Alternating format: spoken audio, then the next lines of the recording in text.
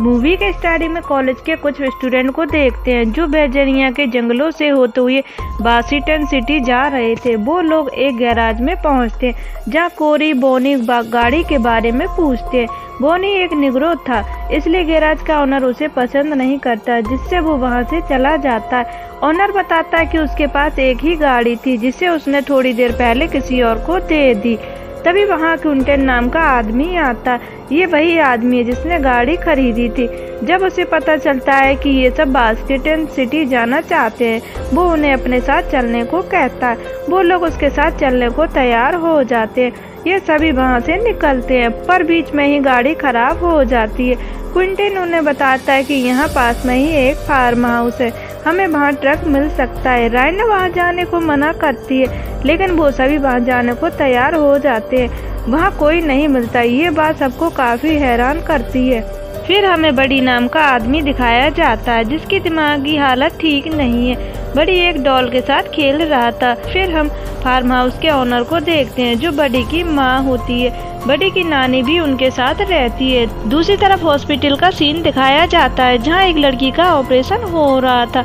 इधर Quinton smoke कर रहा था, पर दृष्टि उसके साथ रोमांटिक पल एंजॉय करना चाहती थी, पर क्विंटन मना कर देता है। फिर क्विंटन कोर और जॉर्डन के पास जाता है और उन्हें बताता है कि उसने फार्म हाउस के बाहर एक ट्रक को देखा है। इधर फार्म हाउस के चारों तरफ़ करंट के तार लगे हुए थे। जोरधन उसे पकड़ लेती है, उसे करंट लग जाता है। वो ज़मीन पर गिर जाती है, कोर उससे पूछता है, तुम ठीक हो? वो गुस्सा हो जाती है, फिर क्विंटन उसे अंदर ले जाता है।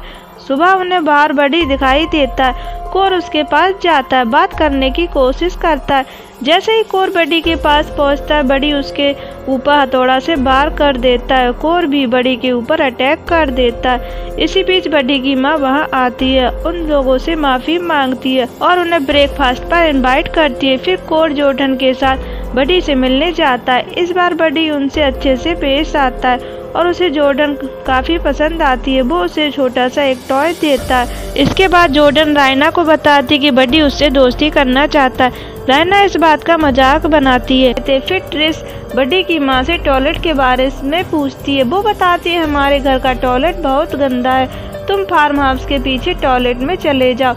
इधर कोड और जॉर्डन ट्रक ठीक कर रहे थे। रायना वहाँ आती है और बोनी के बारे में पूछती है।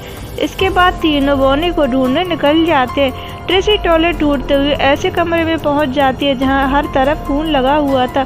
तभी वहाँ बडी आ जाता और बडी हथौड़े से ट्रेसी के ऊपर अटैक कर देता है। ट्रेसी बेहोश हो जाती है। वो एक मशीन में उसके हाथ पैर बाँध देता है। ट्रेसी की सारी बॉडी पार्ट्स एक बॉक्स में डाल देता है। फिर बड़ी की माँ रायना और कोरी के पास आती है और कहती है तुम्हें अगर कि, किसी को फ़ोन करना हो तो पीछे वाले फार्म हाउस में है।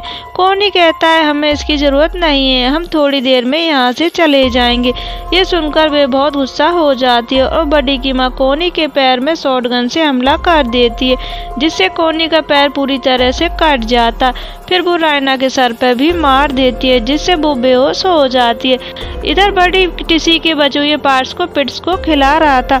उसे ऐसा करते हुए जॉर्डन उसे देख लेती है और वो कोर और क्विंटन को सारी बात बताती है, वहाँ से जाने को कहती है। क्विंटन मना करता है, जैसे उसे कुछ पता ही नहीं हो।